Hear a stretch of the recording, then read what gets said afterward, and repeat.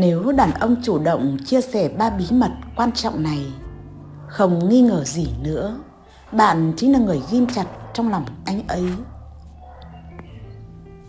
Có những thứ đối với đàn ông là bí mật quan trọng, anh ấy gần như không tiết lộ cho người khác.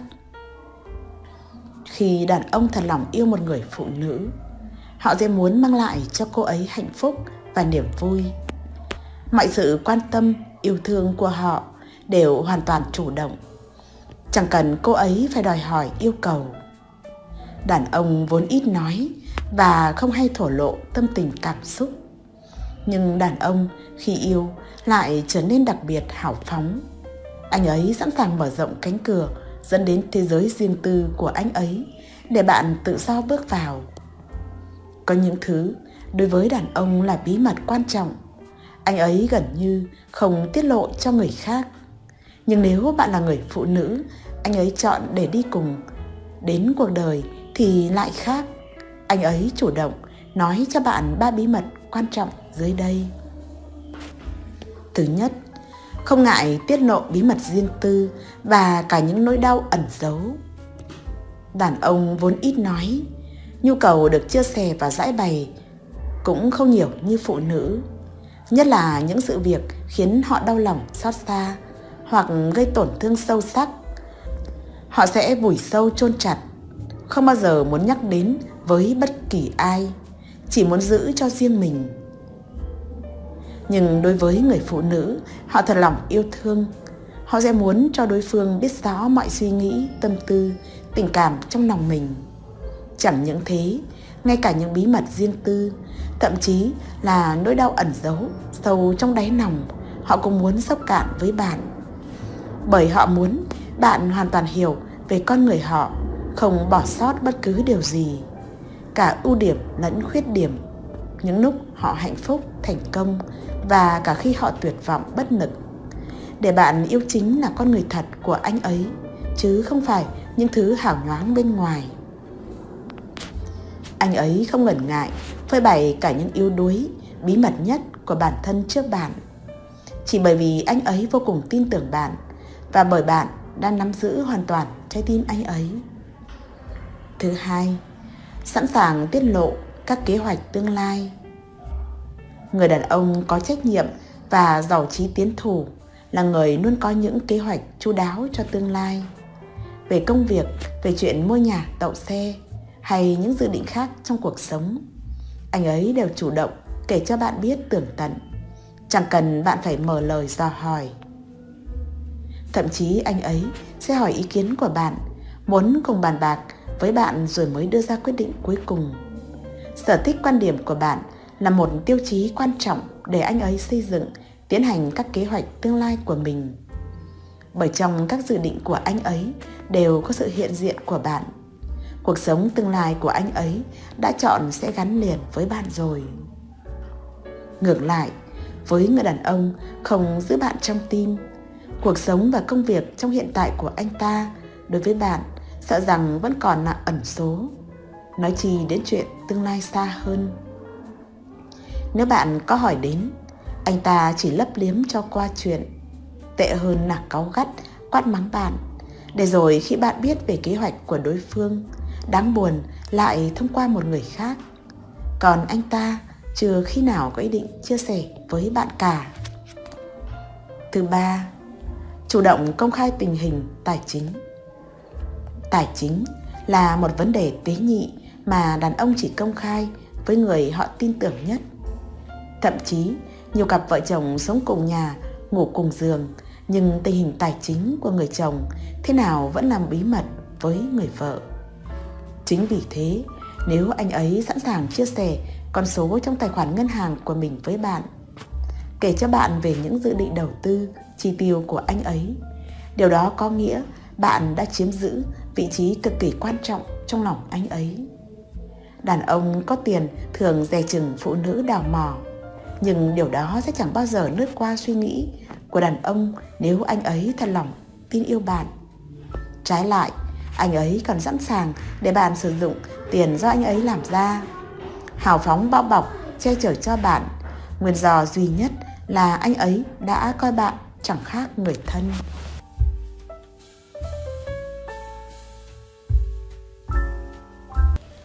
Vị đại tá về hưu dạy gái. Sáng sáng, người ta lại thấy một ông già mái tóc bạc đi thể dục trên đường Nguyễn Trí Thanh, một con đường đẹp nhất Hà Nội. Giữa ai dòng xe hối hả ngược xuôi, giữa những tòa cao ốc mới mọc lên đổ sộ. Ông như một người lạc lõng giữa dòng đời, thong thả đếm từng bước chậm rãi bên những bồn hoa trên phân giải phân cách giữa dòng đường. Nhìn con người gầy gò, dáng vẻ mệt mỏi ấy, mấy ai ngờ đó là một cựu chiến binh từng sông pha nhiều trận mạc trên những nẻo đường ác liệt của Trường Sơn. Cách đây hơn nửa thế kỷ, người sinh viên Bách Khoa mới ra trường từng viết đơn bằng máu, xung phong vào chiến trường miền Nam dưới lúc đang vô cùng ác liệt. Những năm tháng năn nộn trong mưa bom bão đạn của quân thù và những trận sốt rét khiến anh kiệt sức. Đến năm 1971, khi đồng đội đảo bới nuôi được anh ta sau một đợt bom và khiêng tới một đội phẫu thuật tiền phương. Ai cũng tưởng chắc lần này anh khó qua khỏi. Năm ấy anh Kha, người kỹ sư công binh 3 năm tuổi, một tuổi thọ hiếm có ở chiến trường. Nữ bác sĩ phụ trách đội phẫu là Thiếu ý Noan, mới 2 năm tuổi, nhận được chỉ thị của cấp trên là phải cứu sống anh Kha bằng mọi giá. Bởi vì một kỹ sư giao thông thuộc lòng từng cung đường Trường Sơn như Kha là tài sản vô giá của quân đội. Noàn quyết định tiếp máu cho Kha, nhưng máu dự trữ không còn. Trừ thương binh ra, chỉ còn bốn người có thể cho máu. Nhưng sau khi thử máu, chỉ mình Loan có nhóm máu trùng với nhóm máu của Kha.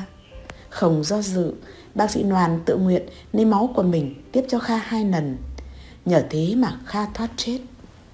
Nhưng sau khi cho máu quá nhiều, chính người bác sĩ trẻ vốn gầy yếu cũng trở thành bệnh nhân. Từ đó, bên cạnh tình đồng đội, họ còn gắn bó với nhau bởi ơn cứu từ. Kha nằm lại bệnh viện gần một tháng trời. Nhiều buổi hai người tâm sự với nhau trên giường bệnh. Rồi những buổi đi hái rau rừng bên bờ suối. Hai người chiến sĩ cảm thấy gắn bó với nhau một cách lạ lùng. Thì ra, cả hai cùng sinh ra và lớn lên ở Hà Nội. Ngày Kha trở về đơn vị, Loan cảm thấy như mình sắp mất đi một người anh. Liệu có còn gặp lại? Kha cầm tay Loan bồi hồi xúc động, hẹn sau ngày chiến thắng nhất định sẽ tìm nhau. Loan tiến anh một quãng đường mới quay trở lại. Nhưng chỉ mấy tháng sau, Kha lại bị bom vùi một lần nữa. Lần này sức khỏe anh quá yếu, anh được đưa vào bệnh viện giã chiến rồi từ đó chuyển ra miền Bắc. Mấy năm sau, trong viện quân y 108 ở Hà Nội, Kha gặp một đồng đội cũ báo cho anh một tin xét đánh. Đội phẫu thuật tiền phương của bác sĩ Noan bị trúng bom B-52 giải thảm. Kha buồn ngơ ngẩn mất mấy ngày. Năm ấy, anh đã 39 tuổi. Nhờ sự mai mối của gia đình, Kha lấy vợ và sinh được hai người con trai. Khi đất nước hoàn toàn giải phóng, chưa được bao lâu, Kha lại phải chịu đựng một nỗi đau lớn hơn. Người vợ anh mất vì căn bệnh ung thư hiểm nghèo. Từ đó, anh sống cạnh gà trống nuôi con. Dù ai nói thế nào, cũng không lấy vợ nữa. Niềm an ủi lớn nhất của vị đại tá về hưu là hai cậu con trai đều học giỏi và vào đại học cả. Khi các con đã trưởng thành, xây dựng gia đình riêng và ông Kha có ba đứa cháu, thì tóc ông đã bạc trắng. Câu chuyện về người cựu chiến binh tưởng như đã hết, nhưng một sự việc bất ngờ nữa lại khuấy động trái tim ông. Trong cuộc họp mặt các chiến binh sĩ đoàn Trong cuộc họp mặt các chiến sĩ đoàn 559 ngờ đâu tưởng như một giấc mơ. Ông tình cờ gặp lại bác sĩ Loan, người đồng đội đã cứu sống ông ở chiến trường. Thì ra, cả hai ông bà, người nọ từ người kia đã hy sinh. Bà Loan cũng đã lấy chồng, sinh được một người con gái và chồng bà cũng đã qua đời trong một tai nạn máy bay khi đang đi công tác.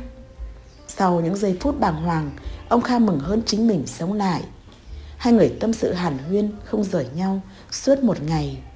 Từ đó ông bà thường hay qua lại thăm nhau dù ở cách xa hai đầu thành phố. Cho đến một hôm, cơn đau tim đột ngột làm ông không gượng dậy được. Nghe điện thoại, bà vội vã đến nhà chăm sóc ông.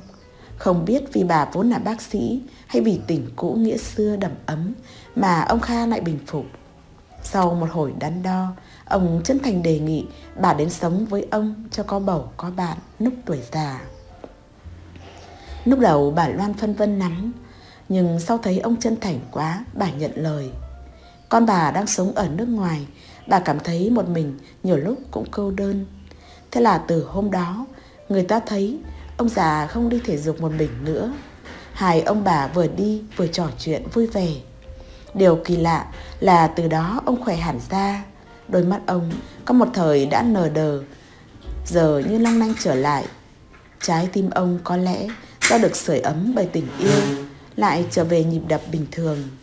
Đồng lương hưu của hai cựu chiến binh lại chẳng phải nuôi ai, cho phép hai ông bà sống ung dung nhàn tản. Những người ở gần, ai biết chuyện tình của ông bà cũng cảm động. Không ít người chúc mừng hai tuổi già tìm thấy hạnh phúc cuối đời. Nhưng cuộc đời thường vẫn có những chữ nhưng. Vợ chồng người con trai thứ hai của ông Kha từ nước ngoài trở về, thấy tự nhiên bố lại đưa một bà già ở đâu về sống chung, cho là không ổn. Hai anh em với hai người con dâu bàn bạc với nhau suốt một buổi. Người con dâu thứ hai một mực cho là bố già rồi mà còn dạy gái. Người anh cả mắng ngay. Cô là người có học, ăn nói phải thận trọng. Cô dùng từ dạy gái là không được. Nhớ bố nghe thấy thì sao? Không ngờ người em trai đứng lên bênh vợ. Như thế không dạy gái à? Năm ngoái bán ngôi nhà cũ, chưa chắc xong, bố vẫn còn hơn 300 triệu để dưỡng già. Ngộ nhớ bây giờ bố đột ngột qua đời vì bệnh đau tim, số tiền đó về tay bà ấy thì sao? Mà không chừng căn chung cư cũng thành nhà của bà ấy nốt. Anh có biết giá trị của nó bây giờ mấy chục cây không? Người anh vẫn cho rằng sống với ai đó là quyền của bố. Và lại, chú chưa biết cái ân tình của bà ấy đối với bố từ hồi còn ở chiến trường như thế nào đâu. Cả một đời bố đã vất vả gian nan rồi, hãy để cho tuổi già của bố được yên ổn. Bố thích sống với ai là tùy bố, bán ngôi nhà cũ, anh em mình ai cũng có phần thỏa đáng rồi, chú còn thắc mắc gì nữa. Nhưng ý kiến ấy bị ngay người vợ của anh ta phản đối. Chị nói rằng người già thường lẩn thần, mình là con cái phải có trách nhiệm ngăn cản. Thế là người chị dâu với hai người vợ chồng em ngày hôm sau kéo nhau đến gặp bố. Không biết họ nói những gì, chắc trọng lòng tự trọng của bà Loan mà sau hôm ấy bà nhất định đòi trở về nhà mình. Ông Kha nói thế nào cũng không được và cũng từ hôm ấy ông đổ bệnh.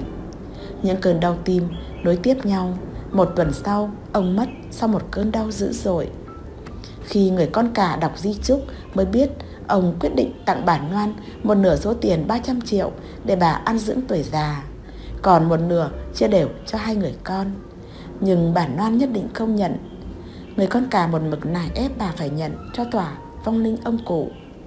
Trong khi người em trai cứ đi ra đi vào lẩm bẩm. Khổ, sao cụ lại nẩn thẩn thế không biết, con cháu không cho, lại cho người xưng.